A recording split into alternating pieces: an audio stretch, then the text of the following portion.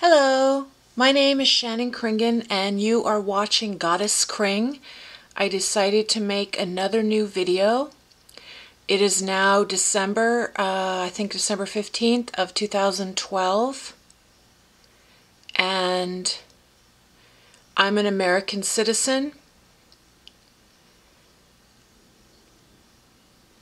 I sometimes wish that my ancestors had stayed in Norway or England or Ireland or Scotland, the various places that my ancestors are from.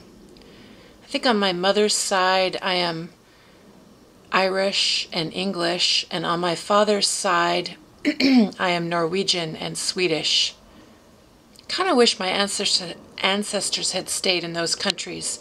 But we came to the United States of America, and I have a few different things on my mind. I have gun control on my mind because of the recent mass um, shooting that we had in the United States of America. We seem to have a lot of those massacres. Um, because, well, I think for many different reasons, um, American culture tends to be pretty violent uh, American movies and video games.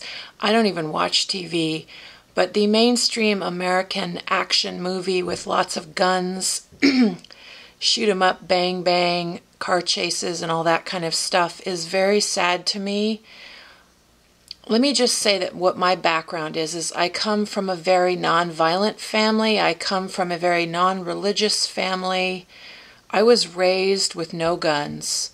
So to me, I wish that we had gun control in the United States of America. This whole right to bear arms thing doesn't really resonate with me, which is partly why I like to go to Europe. Um, a lot of Europeans don't really have that right to bear arms kind of attitude. So that's kind of an American cowboys and Indians mentality, but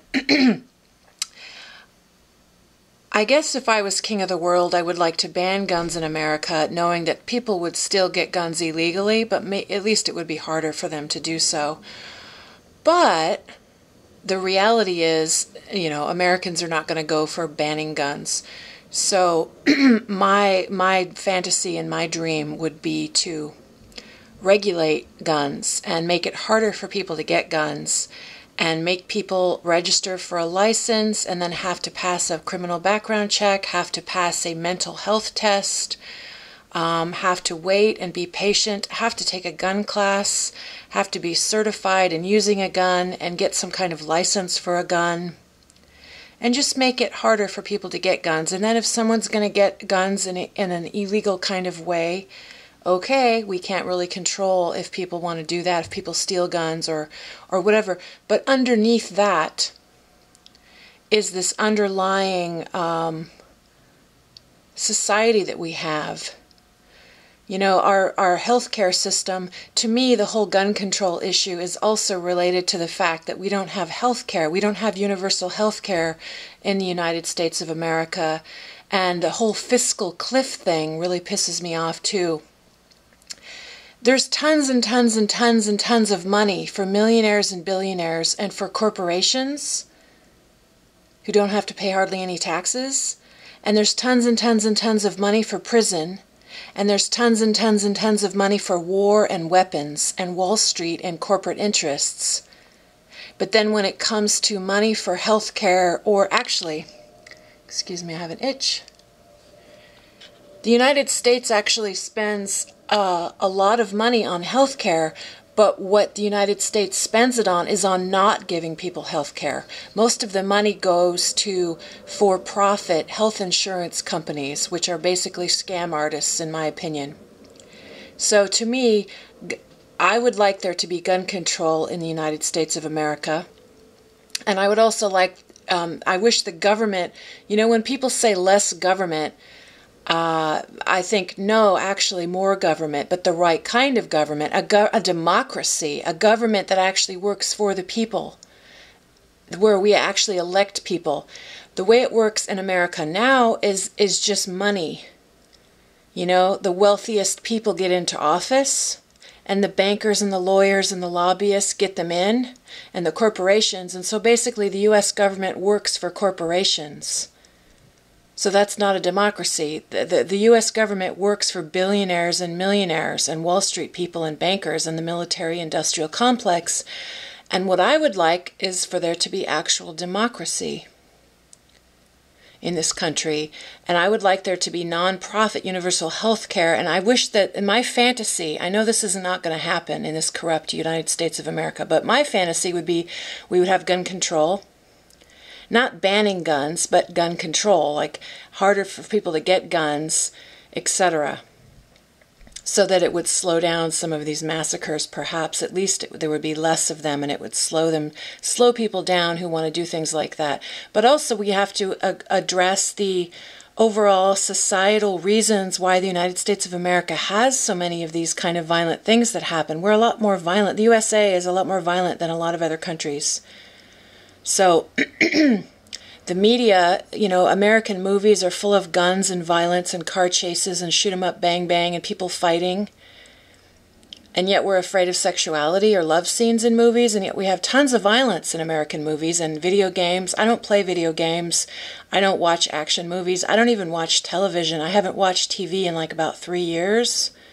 And especially for, actually, for this holiday season, for I don't really celebrate I'm not a Christian, but I'm a very spiritual person and I'm very much into non duality and Eastern philosophy mixed with all the wisdom and all the different religions is what I like. Pure consciousness and love and unconditional love, love, peace, joy, namaste, and all of that.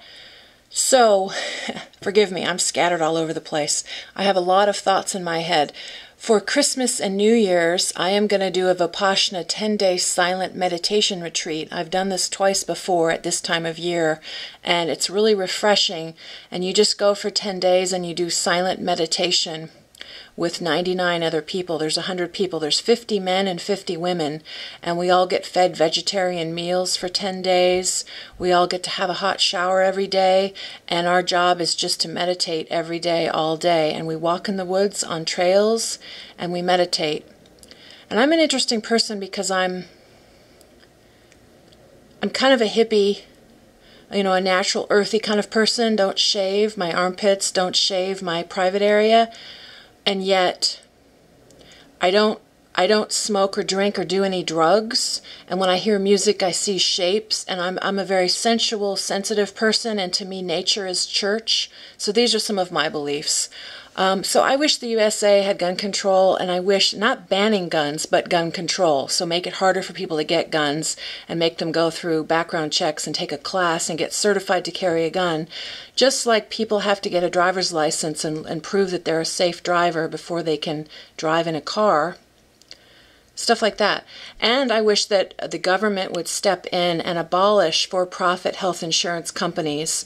And in fact, I think minimum wage should be doubled in America. And a, and a lot of, uh, I think Washington State is where I live in Seattle, Washington, USA. And the minimum wage here for low low end entry level workers is eight dollars an hour, which I've heard is the highest in the country, which, which is outrageous to me because like 13 years ago, I made $7 an hour at some minimum wage job. And so this is like several, over 10 years later, and minimum wage is only $8 an hour. That's insane. So my fantasy would be that the government would step in and it would, it would force corporations to let union, let workers have union rights. Healthcare would be completely separate from employment. Like my friend in England, he has the NHS, National Health Service, and his his health insurance has nothing to do with his job. So if he changes his job or quits his job or gets fired from his job or if he's a student or a worker or unemployed, it doesn't matter. He still gets health care no matter what. This country would work so much better you know what what we what what I wish the USA would do is lower the military budget by about 90% because we spend billions and billions and billions of dollars on war and Wall Street. So basically I would I would reduce the military war budget. I would make sure that veterans, though, uh, soldiers and veterans, get all the medical care that they need. I don't want that cut. But the actual uh, money for weapons and and doing violent things in other countries, the money for that would be cut, but the money for medical care would be maintained and in fact increased. I would want the USA medical health care system to be non-profit. I would abolish private health insurance companies that are just in it for the money. I know people that pay several several hundred dollars a month to health insurance companies and they don't necessarily get much for their money. You know, it's just that if they ever need a $200,000 operation, then they might only have to pay $2,000 instead of $200,000. In other countries, that's unheard of. My dad goes to Costa Rica for health care, for dental care, because it's 400% cheaper there than it is here. And my dad makes pretty good money, actually. He's not wealthy, but I'm low income. My mom and I are both low income. So I would, I would, I wish the U.S. government, if we actually lived in a democracy in the USA, the government would step in and it would stop corporate. It would basically the wealthy would be taxed a lot more than they are right now, pay their fair share of taxes. Low income people would get a break, and every U.S. citizen, rich, poor, middle class, would, old and young, would get nonprofit health insurance and i know and, and not health insurance but just health care. See i don't want health insurance. In other words i don't want to pay some company a monthly fee not knowing what i'm getting. I want to actually pay my taxes and get automatic socialized health care. And i know somebody in scotland i know somebody in in um, mexico and australia and England and Norway and, and yeah, many different countries, and they all get national health care. Okay, and it's not a perfect system, but it's a lot better than what we have here. You know, we spend so, the USA spends so much money on health care, but it's mostly on not giving people health care. And it be, it's because there's price gouging. In the USA, you know, we, we think things need to cost a lot of money because pharmaceutical companies and corporations, that's the way they want it. And it's a lie to say that it needs to cost that much. So I'm happily going to do a 10 day Vipassana silent meditation retreat for this holiday season. Oh, yes, and a minimum wage could be doubled in America. So instead of $8 an hour here in Seattle, which is minimum wage, I would like minimum wage to be $15 an hour, which is pretty much almost double. $15 an hour minus taxes for for um, minimum wage jobs. And in order to pay for this, we would lower the salaries of people working above them. So companies like Walmart or, you know, I don't want to mention a lot of names, but big chain stores in the USA that make a lot of money and huge profits they could pay their workers $15 an hour, and then the people working above them would have to take a pay cut, especially people that make $150,000 a year or more. They would have to take a pay cut. So that's how I would propose to pay for increasing people's wages to $15 an hour. I would give everybody nonprofit universal health care in the USA, and I would double minimum wage, and I would lower the military budget, and I would I would tax wealthy people and corporations huge amounts of money because they make huge profits so they can afford to pay higher taxes. And middle class and low income people should pay whatever is fair percentage wise for taxes. But obviously, low income, middle class, and poor people are hurting a lot more than wealthy people are. So, wealthy corporations, it's just, you know, if this was actually a democracy in the USA, some of the things I'm talking about would actually be happening. On another note, I am almost done with uh, college. I'm almost done with my BA degree.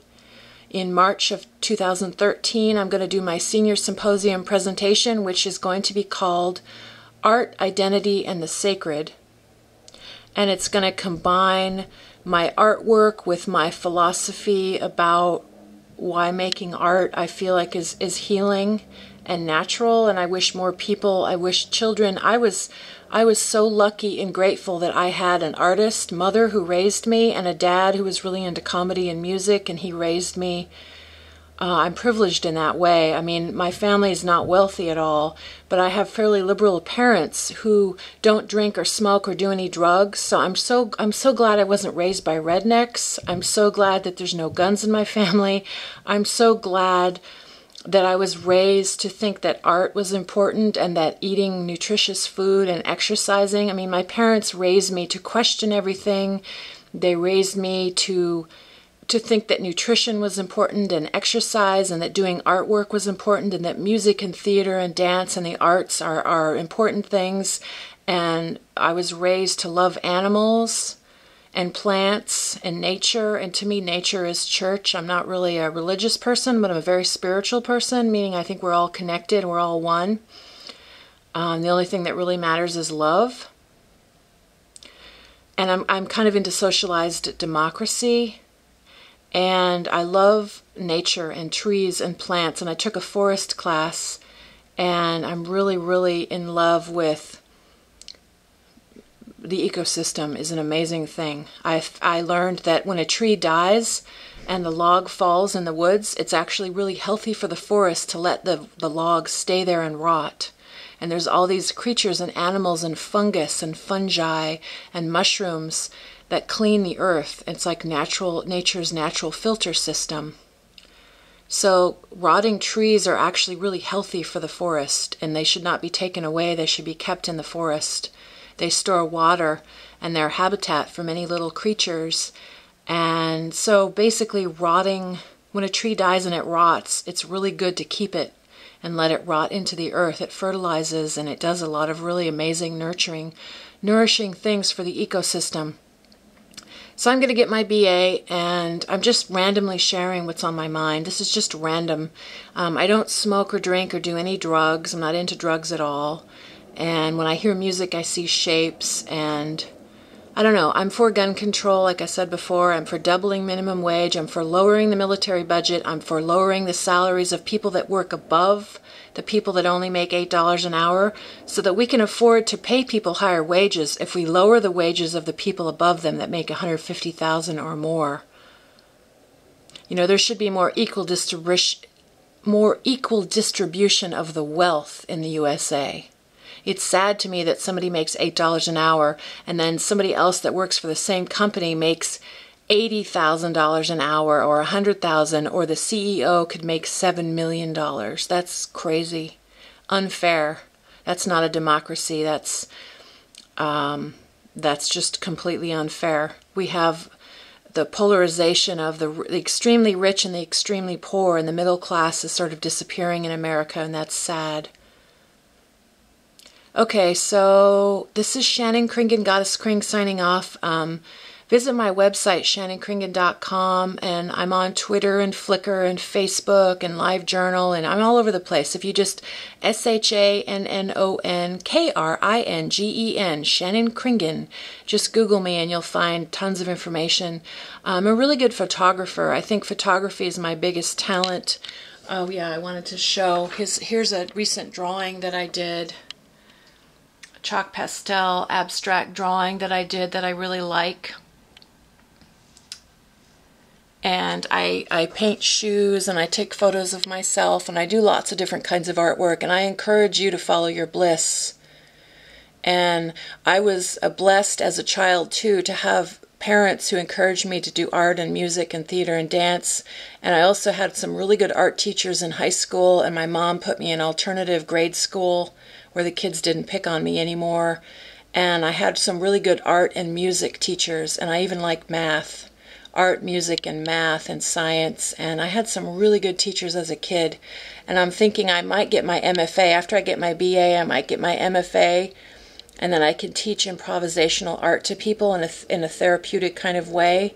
Um, I think every child should be exposed to creativity and art. And if they want to do music or theater or dance or singing or acting or or drawing or painting or photography or just writing poetry, creative writing. I think it's very important for children to be able to, and adults, to be able to express themselves and be creative. And I think the less TV you watch, the better. I haven't watched TV in about three years and I don't miss it. I love watching movies, but I don't miss all the commercials and I don't miss all the news, you know, the media and the news that's really stressful and emphasizes all the violent things happening in the world. There's so many good things happening. I've been listening to a lot of Eckhart Tolle lately about the power of now and being in the present moment.